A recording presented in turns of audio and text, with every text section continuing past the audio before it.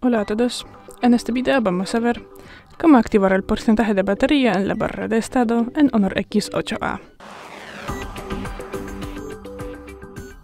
Bueno, pues eh, si queremos tener aquí el porcentaje de batería siempre visible, tenemos que abrir los ajustes, luego bajamos y tenemos que hacerlo desde la pestaña batería. Y bueno, aquí tenemos que buscar porcentaje de batería y podemos ver que aquí tenemos seleccionado no molestar, eh, perdona, no mostrar y aquí tenemos dos opciones adicionales.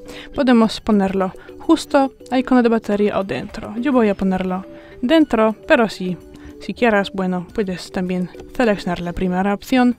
Y bueno, y estas, estos estilos son los únicos que podemos usar. Y ya, es todo. Muchas gracias por ver el vídeo déjanos un like y suscríbanos. Hasta luego.